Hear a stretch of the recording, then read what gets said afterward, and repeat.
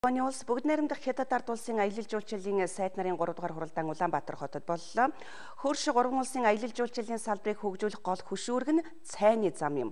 Тиймээс цайны зам дагуу худалдаа үйлчилгээний салбараа хөгжүүлж, дэд бүтцийн асуудлаа шийдэж, хөрөнгө оруулалт хийх шаардлагатай гэж талууд үзэж байна.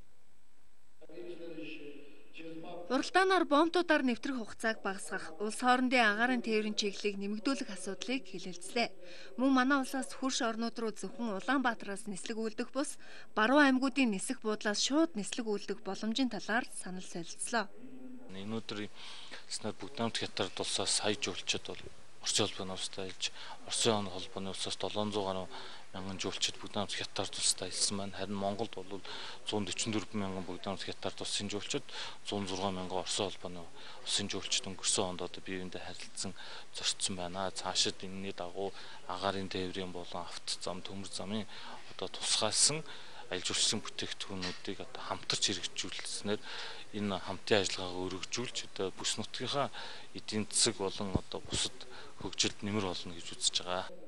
Хурц гурван улс харилцан жуулчлалын нөхцөлийг сайжруулах тал дээр анхаарал хандуулж байна. Учир нь жил ирэх бүр гурван улсын харилцан жуулчлагчдын тоо нэмэгдэж байгаа юм а. Тиймээс иргэдийн аюулгүй байдлыг нэмэгдүүлэх, бүтээгдэхүүн үйлчлэгийг сайжруулахад гурван улсын аялал жуулчлалын салбарын туршлагаа хуваалцлаа. Түүнчлэн дөрөвдөгч улсын жуулчдад хурц гурван улс ямар үйлчилгээ үзүүлж, ямар бүтээгдэхүүн санал болгох нь оновчтой болохыг хурлаар хэлэлцлээ. За өнөөдрийн хурлаар гурван улсын аялал жуулчлалын байгууллагын удирдлагууд заашид хамтын ажиллагааны хүрээнд яг ямар ажлыг хийж хэрэгжүүлэх талаар маш тодорхой саналуудыг дэвшүүлж ярилцлаа. Миний хувьд их түмэн цааны зам санаачлагын хүрээнд хил орчмын аялал жуулчлалыг түлхүү хөгжүүлэх, ялангуяа нийтийн хөнгөлөлтөө нөхцөлийг жуулчдад олгож бүрдүүлэх асуудлыг голлон ярьлаа. Энэ хуралд гурван улсын цайны зам дагуух аймаг сум багийн төлөөлөгчд оролцож байгаагаараа онцлогтой. Тэд тухайн бүс нутагт аялал жуулчлалыг хөгжүүлэх ямар боломж нөхцөл байна? Мөн ямар асуудал тулгарч байгааг энэ хурлаар танилцуулж байгаа нь цаашдын ажилд түлхүү хувь нэмэр оруулах юм. Түүнчлэн Хятад Монгол Оросын хил дамнсан жуулчлалын бүсийн визийн хөнгөлөлтийн талаар хэлэлцлээ.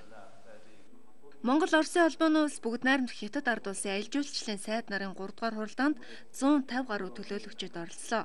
Хурал энэ сарын 12-ны хүртэл үргэлжлэх юм а. За манай мөн энэ